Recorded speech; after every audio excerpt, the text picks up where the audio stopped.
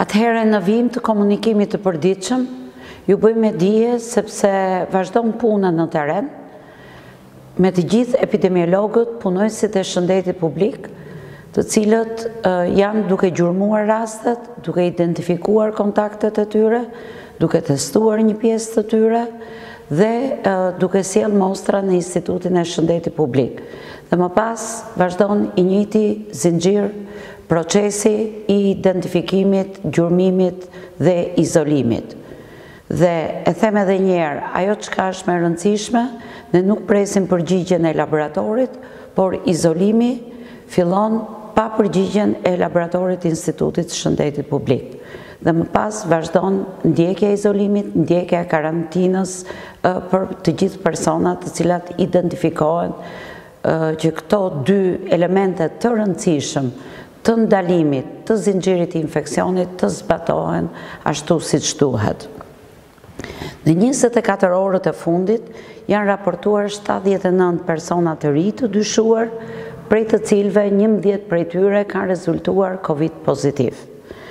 Gjatë njëzet e katër orëve të fundit kanë ndërruar jetë dy pacientë në shërbimin e sëmundjeve infektive në pranë Spitalit Universitar Nënë Tereza në Tiranë, midis të cilëve është një person gjashtëdhjetë e shtatë vjeç nga Tirana, dhe një femër, grua, shtatëdhjetë e dy vjeçare nga Vlora.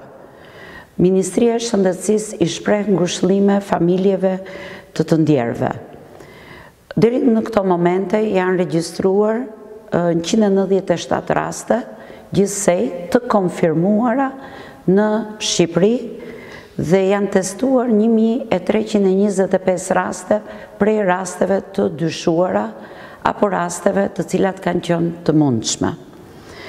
Në shërbimin infektiv ndodhen aktualisht shtatëdhjetë e katër persona të shtruar, prej të cilëve katër prej tyre janë në gjendje kritike për jetën dhe ndodhen nën shërbimin e kujdesit intensiv.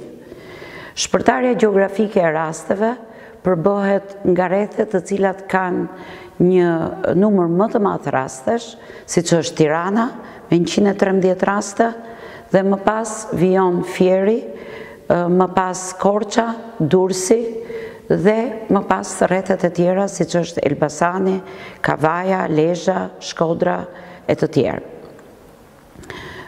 Deri tani kemi pasur 33 persona të cilët janë shëruar pranë pas testeve duke u verifikuar dhe me testet e kontrollit.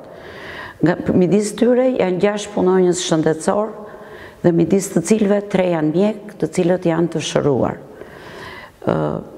Ministria e Shëndetësisë i drejtohet edhe një herë qytetarëve që të zbatojnë të gjitha masat të cilat janë përcaktuar si masa të kontrollit dhe ju lutet atyre që të mos shkojnë në spital por të kërkojnë kujdes shëndetësor nëpërmjet numrit njëqind e njëzet e shtatë.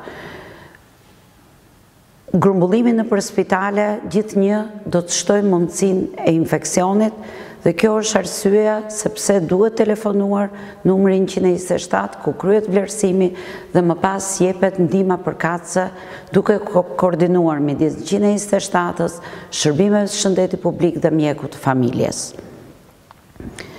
Gjithashtu, është e rëndësishme që të komunikohet edhe në numrin tjetër që Ministria e Shëndetësisë ka vendosur për të kërkuar informacion në lidhje me këtë sëmundje. Ju faleminderit.